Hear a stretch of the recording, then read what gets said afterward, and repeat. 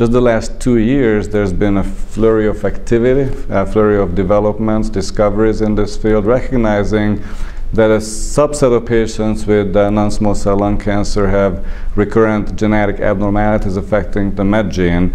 The first one that was recognized is MET amplification, which is not very common and also not easy to define because it comes in a spectrum. It's, it's uh, something where we need to use certain thresholds to understand what level of amplification is a key driver event. But lately there's been some understanding that high-level gene amplification of MET indeed identifies cancers where MET inhibitors you know, can work, such as small molecule inhibitors, crizotinib, cabozantinib, etc.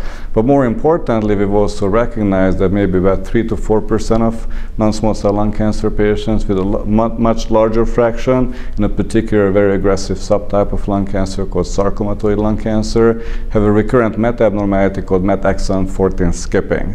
Now that's a very unique genetic abnormality that can be caused by a range of genetic aberrations leading to the same thing, just a complete skipping over of one of the building blocks of the MET you know, gene, exon 14. This leads to the loss of, of, a very particular amino acid in the MET protein. That amino acid is critical for the binding of another protein called c-Cbl to MET.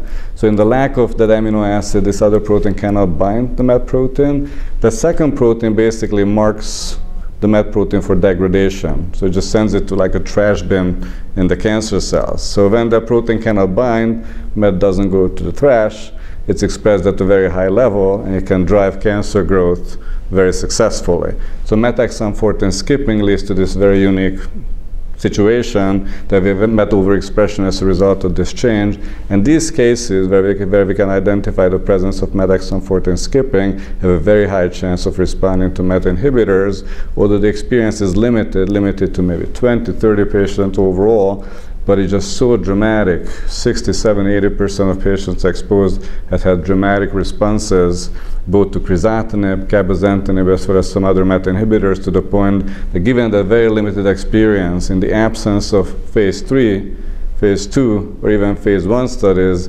guidelines had incorporated both MET exon 14 testing as well as treatment as a result of uh, uh, testing for in the management of patients with advanced uh, non-small cell lung cancer with MET abnormalities.